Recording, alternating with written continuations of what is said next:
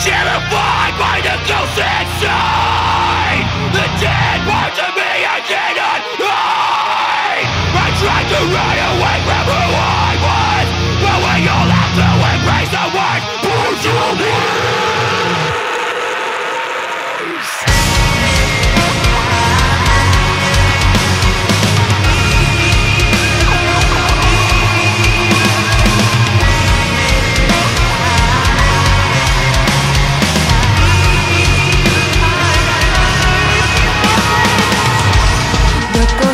past there